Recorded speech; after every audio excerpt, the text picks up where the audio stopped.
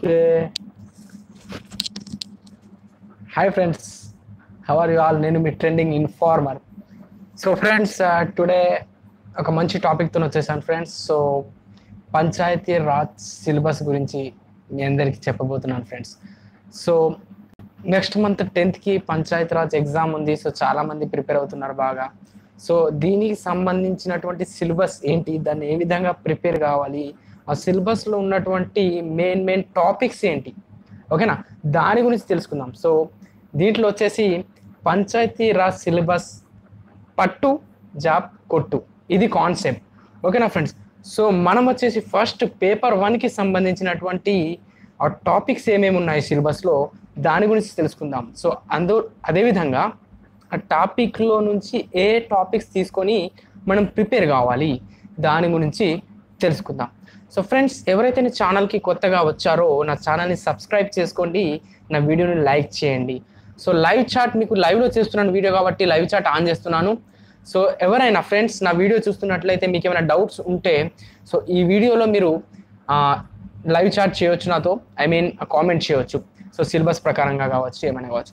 So Panchayati Raj secretary so ఈ panchayat రాజ్లో total తొమ్మిది వేల మూడు వందల యాభై ఐదు పోస్టులు పడ్డాయి. సో త్రీ ఇయర్స్ వరకు వీళ్ళు యాక్చువల్గా రెగ్యులర్గా తీసుకోరు కాంట్రాక్ట్ వైజ్ తీసుకుంటారు. సో త్రీ ఇయర్స్ వరకు మీ వర్క్ అనేది ప్రాపర్గా ఉంటే according to Panchayati Raj rules so మీరు వర్క్ ప్రాపర్గా చేపించినట్లయితే ఐ మీన్ మీకంటే హయ్యర్ వాళ్ళతో కావచ్చు మీకంటే లోవర్ వాళ్ళతో ఉన్నట్లు లోవర్ ఉన్న వాళ్ళతో మీరు వర్క్ని ప్రాపర్గా చేపించినట్లయితే త్రీ ఇయర్స్ తర్వాత మీ పోస్ట్ అనేది రెగ్యులర్ అవుతుంది. సో త్రీ ఇయర్స్ వరకు మీరు ఖచ్చితంగా జాబ్ టెంపరీగా మాత్రమే చేయాల్సి వస్తుంది. ఓకేనా ఏ జాబ్లో అయినా ప్రెషర్ ఉంటుంది. సో ఇది కామన్ సో ఫ్రెండ్స్ అది పక్కన పెడితే సో ఈ జాబ్ పోస్టింగ్ అనేది మనం ఎక్కడ నివసిస్తున్నామో అక్కడే ఇస్తారు. ఫర్ ఎగ్జాంపుల్ మనం మంచాల నుంచి అనుకోండి.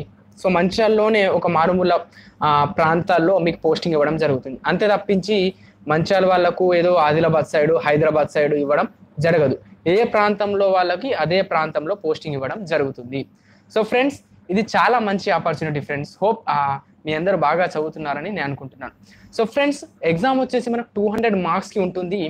టూ హండ్రెడ్ మార్క్స్ అందులో hundred marks first paper hundred marks second paper two hours time ఉంటుంది. సో ఫస్ట్ పేపర్కి టూ అవర్స్ మార్నింగ్ సెకండ్ పేపర్కి టూ అవర్స్ ఆఫ్టర్నూన్ ఓకేనా ఫ్రెండ్స్ సో ఇప్పుడు ఇందులో మనం ఎలా ప్రిపేర్ కావాలి? సో ఫస్ట్ పేపర్ వచ్చేసి మనకు జనరల్ అవేర్నెస్ ఓకేనా జనరల్ అవేర్నెస్ పేపర్ అనేది మనకు ఉంది. దాంతో పాటుగా మెంటల్ ఎబిలిటీ ఓకేనా సో జనరల్ అవేర్నెస్లో సెక్షన్స్ ఇచ్చారు వాళ్ళు అది ఎలా చదవాలనేది అందులో ఏ టాపిక్స్ ఉన్నాయో మీరు మీకు చెప్తున్నాను అది నోట్ డౌన్ చేసుకోండి. సో మీకు ఏమైనా ఇంకేమైనా డౌట్స్ ఉంటే బుక్స్ పరంగా కావచ్చు నేను ఇంకేమైనా డౌట్స్ ఉంటే నన్ను అడగండి. సో నేను మీకు చెప్పడానికి ట్రై చేస్తాను మంచి బుక్స్ కావచ్చు. సో ఈ హండ్రెడ్ మార్క్స్ ఫస్ట్ పేపర్ గురించి తెలుసుకుందాం ఇవాళ.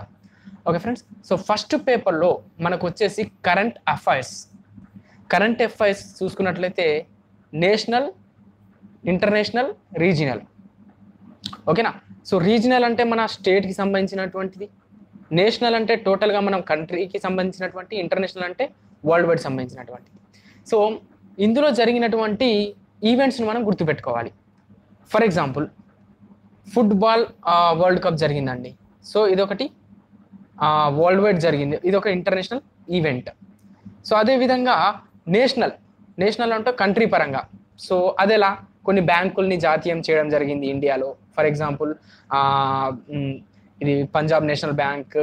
విధంగా బ్యాంకులకు సంబంధించినటువంటి మన ఇండియాలో సంబంధించినటువంటి విషయాల్ని కాన్సన్ట్రేట్ చేస్తారు. అదేవిధంగా రీజనల్ చూసుకున్నట్లయితే మన ప్రాంతానికి సంబంధించినటువంటి మన స్టేట్కి సంబంధించినటువంటి మెయిన్గా తెలంగాణ స్టేట్లో సంబంధించినటువంటి ఈ కరెంట్ అఫైర్స్ని ఇవ్వడం జరుగుతుంది. ఓకే సో ఇది మెయిన్గా మీరు పేపర్ చదవాలి. రెగ్యులర్గా పేపర్లో మీరు ఈ నేషనల్ సో తెలంగాణకి సంబంధించినటువంటి ఈవెంట్స్ కావచ్చు అదేవిధంగా కంట్రీకి సంబంధించినటువంటి ఈవెంట్స్ కావచ్చు అదేవిధంగా వరల్డ్కి సంబంధించినటువంటి ఈవెంట్స్ కావచ్చు. సో ఫర్ ఎగ్జాంపుల్ వరల్డ్లో కొత్త యాంటీబయాటిక్ ఒకటి వచ్చింది ఓకేనా? యాంటీబయాటిక్ని కనుక్కున్న శాస్త్రవేత్త ఎవరు? ఆ యాంటీబయాటిక్ని ఏ దేశంలో యాంటీబయాటిక్ని ఏ దేశంలో కనుక్కున్నారు? ఈ విధంగా పేపర్లో రెగ్యులర్గా వచ్చేటువంటి వాటి గురించి మ్యాక్సిమం అడుగుతూ ఉంటారు. So try to read paper ఓకేనా మీరు పేపర్ని చదువుతూ ఉండండి. సో అదేవిధంగా ఫ్రెండ్స్ నెక్స్ట్ వచ్చేసి మనం తీసుకున్నట్లయితే ఇంటర్నేషనల్ రిలేషన్స్ అండ్ ఈవెంట్స్ గురించి అడగడం జరిగింది. ఓకేనా ఇంటర్నేషనల్ అంటే అంతర్జాతీయ పరంగా రిలేషన్స్ అంటే ఫర్ ఎగ్జాంపుల్ మన ప్రధానమంత్రి కావచ్చు రాష్ట్రపతి కావచ్చు వేరే దేశాలకు వెళ్తుంటారు. సో వేరే దేశాలతోని ఏ ఏ ఒప్పందాలు చేసుకున్నారు? ఓకేనా ఫర్ ఎగ్జాంపుల్ ఇండియా బంగ్లాదేశ్కి మధ్య ఒక ఒప్పందం జరిగింది. మైత్రి పైప్ లైన్ సంబంధించిన ఒప్పందం. ఓకేనా? ఇది నేను ఎగ్జాంపుల్ ప్రకారం చెప్తున్నాను. జస్ట్ ఫర్ ఎగ్జాంపుల్ సో అలాంటి ఒప్పందాలు మైత్రి పైప్ లైన్ అంటే ఏంటి?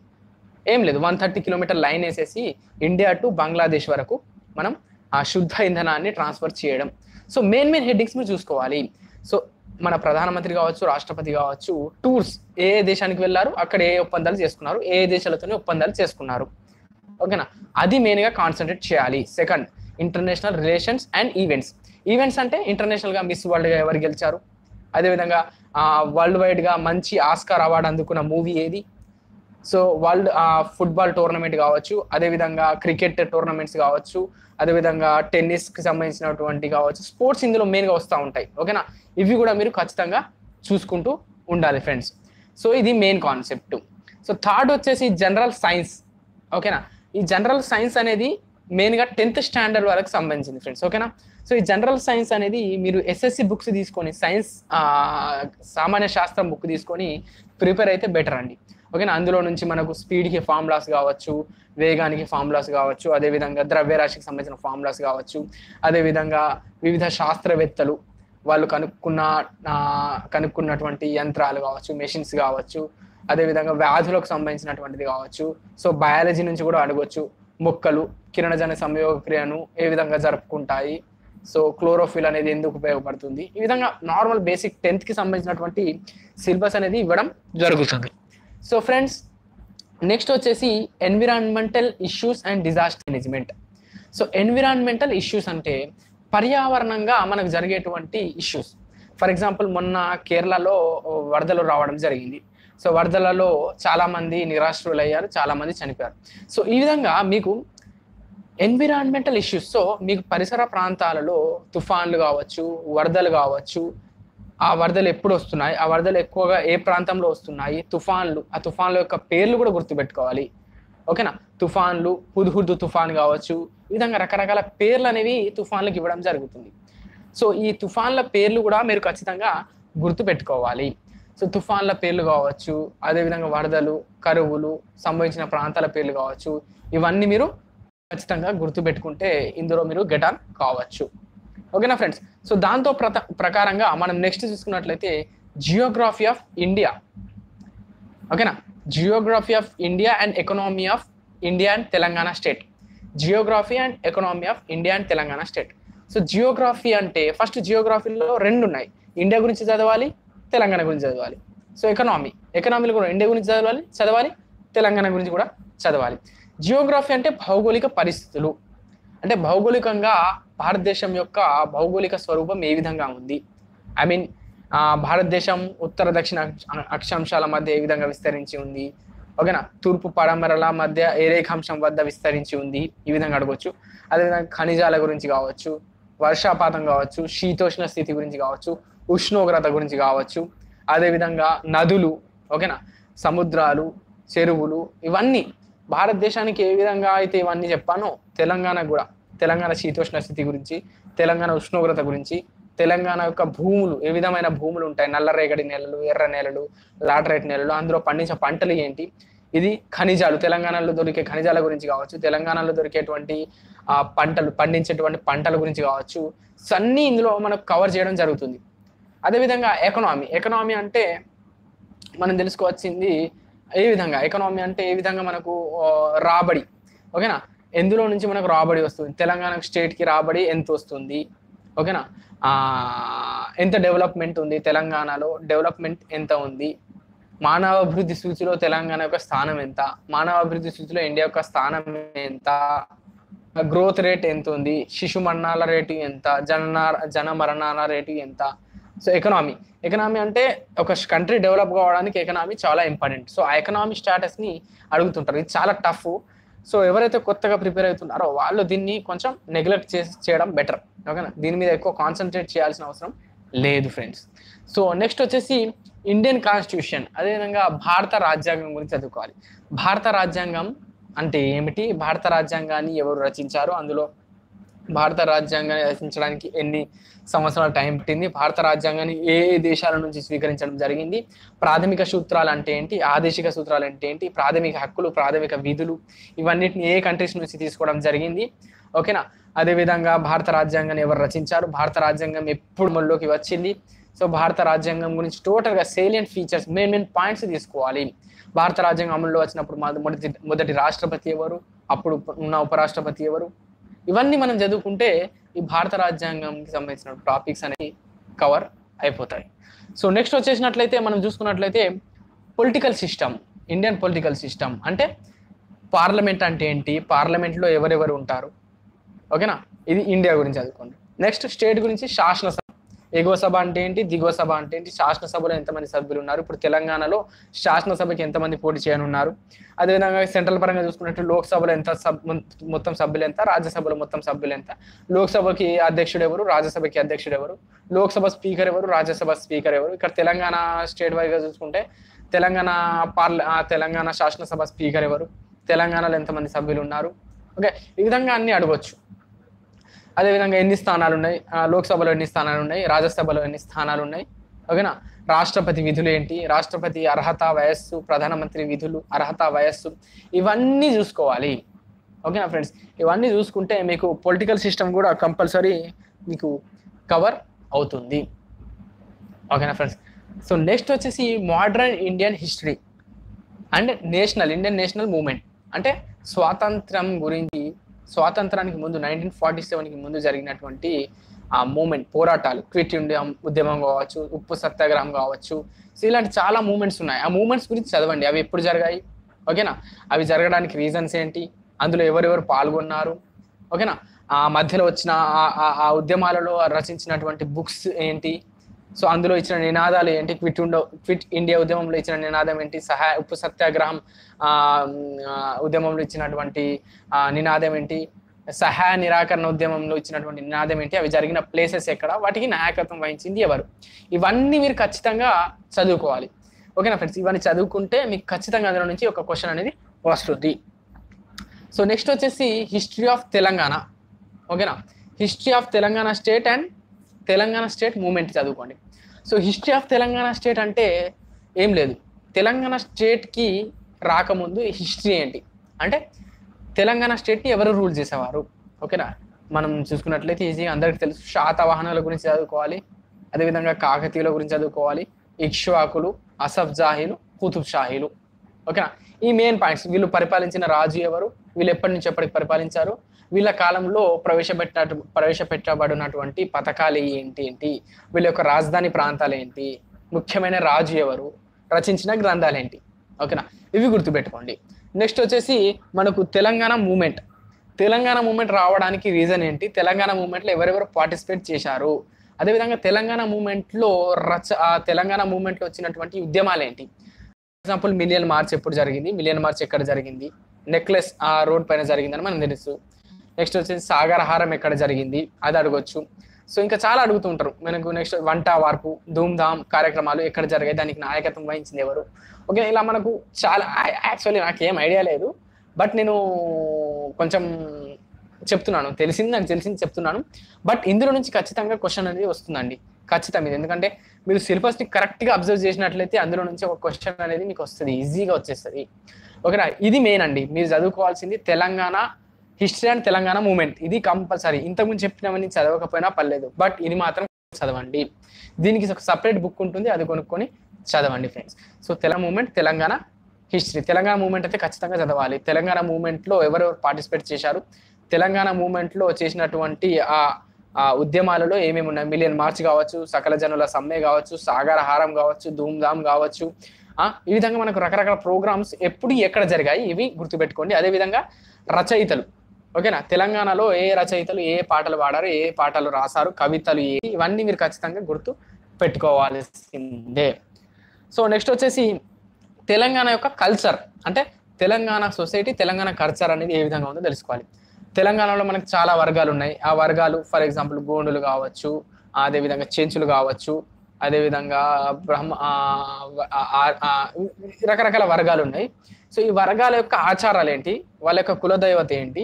వాళ్ళు చేసే వ్యవసాయం ఏ రకమైన వ్యవసాయం? గోండులు అనుకోండి ఏ వ్యవసాయం చేస్తారు?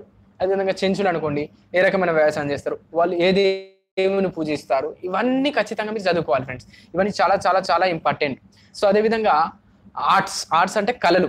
సో నిర్మల్ ఏ దేనికి ప్రసిద్ధి? ఆన్సర్ ఇవ్వండి కామెంట్లో నేను చెప్పను మీ అందరికి తెలిస్తే కామెంట్ చేయండి. అదేవిధంగా పెంబర్తి గద్వాలు ఇవన్నీ దేనికి ప్రసిద్ధి? చీరలకు. సిరిసిల దేనికి ప్రసిద్ధి? ఈ విధంగా క్వశ్చన్స్ అడుగుతారు. ఒక డిస్ట్రిక్ట్ నేమ్ ఇచ్చేసి దీని దేనికి ప్రసిద్ధి అని అడుగుతారు. ఈ విధంగా ఆర్ట్స్ గురించి కూడా మీరు చదువుకున్నట్లయితే బాగుంటుంది. ఇది చాలా చాలా చాలా ఇంపార్టెంట్ సో నెక్స్ట్ వచ్చేసి పాలసీస్ ఆఫ్ తెలంగాణ స్టేట్ అంటే తెలంగాణ స్టేట్ ప్రవేశపెట్ట పెట్టినటువంటి పథకాలు. సో ఇది కూడా చాలా ఇంపార్టెంట్ ఫ్రెండ్స్ ఇందులో ఇందులో నుంచి విఆర్ఓ ఎగ్జామ్స్లో కూడా కొన్ని క్వశ్చన్స్ రావడం జరిగింది. గ్రూప్ టూలో కూడా చాలా క్వశ్చన్స్ కవర్ అయ్యాయి. పాలసీస్ ఖచ్చితంగా చదువుకోవాలి. సో పాలసీస్ చదువుకున్నట్లయితే మీకు ఖచ్చితంగా ఈ పాలసీస్ అనేవి మనకు పంచాయతీరాజ్ సెక్షన్స్లో కూడా యాడ్ చేయడం జరిగింది. సో పంచాయతీరాజ్ ఉద్యోగానికి పాలసీస్కి చాలా దగ్గర దగ్గర సంబంధం ఉంది. సో పాలసీస్ నుంచి మ్యాక్సిమం క్వశ్చన్స్ ఎక్స్పెక్ట్ చేయవచ్చు ఈ పంచాయతీ సెక్రటరీ ఎగ్జామ్స్కి. ఎందుకంటే పంచాయతీ సెక్రటరీ జాబ్ ఏంటంటే ఈ పాలసీస్ని అమలు చేయాలి. ఓకేనా? సో పాలసీస్ అంటే తెలంగాణ ప్రవేశ తెలంగాణ ప్రభుత్వం ప్రవేశపెట్టినటువంటి పథకాలు ఆసర పింఛన్లు కావచ్చు కేసీఆర్ కిట్ కావచ్చు బస్సీ దవాఖానాలు కావచ్చు. సో చాలా రకాలు ఉన్నాయి. ఆరోగ్య లక్ష్మి కళ్యాణ లక్ష్మి ఓకేనా? మీ అందరు తెలుసు. ఇవి హరితహారం కావచ్చు mission Kakatiya mission Bhagiratha. So రీసెంట్గా ప్రవేశపెట్టినటువంటి కంటి వెలుగు ఓకేనా? నెక్స్ట్ రైతు బీమా పథకం. ఇవి ఎప్పుడు ఎక్కడ ఎప్పుడు ప్రవేశపెట్టారు ఏ ప్రదేశంలో ప్రవేశపెట్టారు అనేది ఖచ్చితంగా తెలుసుకోవాలి ఫ్రెండ్స్ ఓకేనా? ఇవి చాలా చాలా చాలా చాలా ఇంపార్టెంట్ కాంపిటేటివ్ ఎగ్జామ్ ఇదే ఎగ్జామ్ కాకుండా ఏ ఎగ్జామ్కి వెళ్ళినా ఇవన్నీ ఖచ్చితంగా గుర్తుపెట్టుకోవాలి ఫ్రెండ్స్ సో నెక్స్ట్ వచ్చేసి ఇదంతా మనకు జనరల్గా చాలామంది దీన్ని ఈజీగా రాసేస్తూ ఉంటారు. చాలామంది విఆర్ఓకి ప్రిపేర్ అయిన వాళ్ళు కావచ్చు గ్రూప్ టూకి ప్రిపేర్ అయిన వాళ్ళు కావచ్చు వీళ్ళందరికీ ఇది చాలా ఈజీ ఎందుకంటే ఆల్రెడీ చదివి ఉంటారు. సో వీళ్ళు ఏం చేస్తారంటే గ్రూప్ టూ కావచ్చు విఆర్ఓకి ఆల్రెడీ ప్రిపేర్ అయిన వాళ్ళు ఇదంతా పక్కన పెట్టేయండి.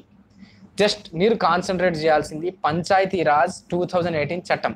అది రేపు రేపు తెలుసుకుందాం. సెకండ్ పేపర్ గురించి రేపు చెప్తాను ఎక్స్ప్లెనేషన్ సో ఇప్పుడు only first paper so VRO కావచ్చు గ్రూప్ టూకి ఆల్రెడీ ప్రిపేర్ అయిన వాళ్ళు ఇది వదిలేసి ఆల్రెడీ మీకు టచ్ ఉంటుంది కాబట్టి సెకండ్ పేపర్ పైకి జంప్ చేసేసి దాన్ని చదవడం మొదలుపెట్టండి. ఎందుకంటే టైం చాలా తక్కువగా ఉంది.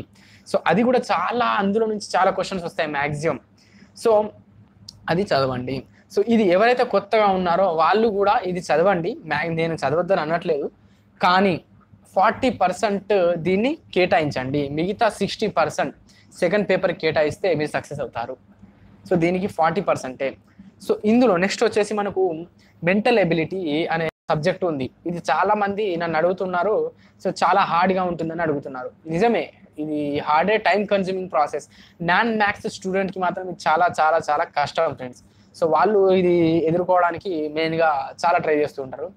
సో హోప్ మీ అందరూ చేస్తారు. ఎందుకంటే ఇది ఇందులో ఈజీగానే వస్తుంది మెంటల్ అబిలిటీ సో ఇందులో ముఖ్యంగా మనకు వచ్చేసి రీజనింగ్ రీజనింగ్ అంటే సీటింగ్ అరేంజ్మెంట్స్ అడగవచ్చు అదేవిధంగా దిక్కుల గురించి అడగవచ్చు అదేవిధంగా మనకు పజిల్స్ పజిల్ టైప్ ప్రాబ్లమ్స్ అడగవచ్చు సో మెయిన్గా బ్లడ్ రిలేషన్స్ బ్లడ్ రిలేషన్స్ కూడా అడగవచ్చు సో ఇది దీనిపైన కాన్సన్ట్రేట్ చేయండి. దిక్కులు బ్లడ్ రిలేషన్స్ పజిల్స్ దిక్కులు బ్లడ్ రిలేషన్స్ పజిల్స్ అడగవచ్చు సీటింగ్ అరేంజ్మెంట్ సీటింగ్ అరేంజ్మెంట్ ఇవి ఖచ్చితంగా మీకు అడగడం జరుగుతుంది.